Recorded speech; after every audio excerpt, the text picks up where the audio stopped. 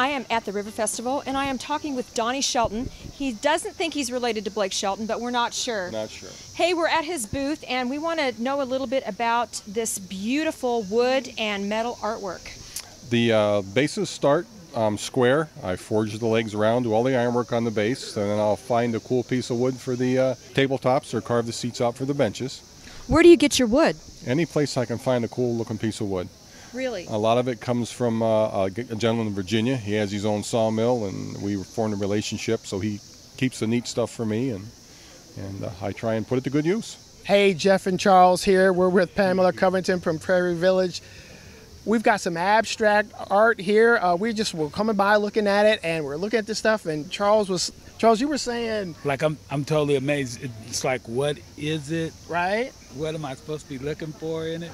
And and, and that's when I say it's you think that a lot of people want to land on something like a boat or a chair or a figure, a person, a face. Um, and a lot of times we just think that's what we need to land on to feel comfortable with the art, but actually it could be the mood or the feeling that you're getting when you see a boat. When you see a boat, you think maybe a vacation or cool water or I'm off work, when really you're attaching yourself to the feeling of the work. So if you can think of the abstract work in that way and let yourself just look at it for the cool colors, then it might it's easier to grab a hold of it and realize that you don't necessarily have to see a figure or a narrative um, or something uh, concrete like an object uh, that we relate to. Yeah, because I was looking at this one picture here. It was kind of blue, and I and I kind of felt myself a little bit cooler. You can see the sweat coming down my head, but I, I was feeling a little bit cooler right there, right? Yeah. And then Charles, you had a favorite one there. Yeah, too, my, right? mine I felt a little more calm with the tower, and I could see it overlooking the people, and it's just like I'm up in the tower enjoying myself, excited. Yeah, that's exactly what abstract work is supposed to do to you is just give you a feeling or a sense of something or a mood and not necessarily say, hey, that's a bowl of fruit with a glass of wine next to it, you know? But that can feel good too.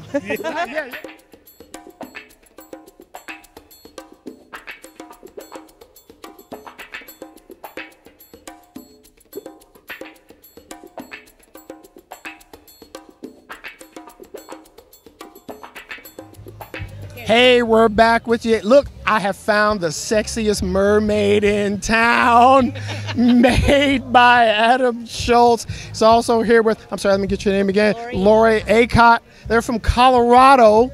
And this thing right here, I thought it was jade, but it's not. It's bronze. And I heard you, Adam, say earlier that this will outlast. What is that? This will outlast our society. This, and when everything crumbles, this will probably be one of the last things dug up by future archaeologists.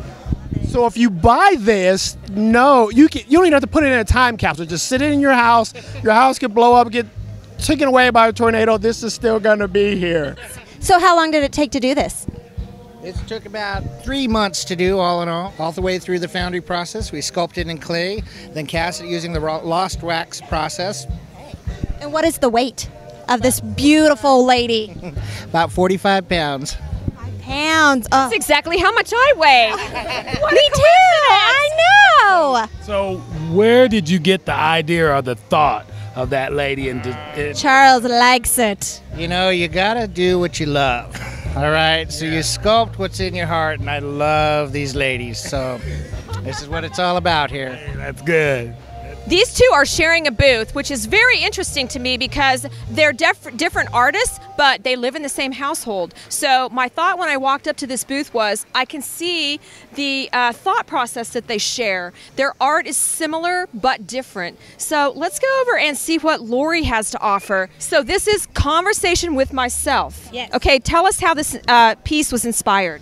So I made the large figure and then I put it on my shelf for six months to figure out what it was looking at. and then I made the small figure and then I realized, oh, so it's like, you know how we all have conversations with ourselves and part of us there's part of us maybe that's afraid or confused or concerned about things and then there's another part of us that's like it's going to be fine it's going to be okay and that's what this piece is about That is awesome. So tell us what this is made of. bronze So is this piece the piece that's yelling at that piece? Why did you make that mistake? Because that's what I see with I see this. so that tells me a lot about you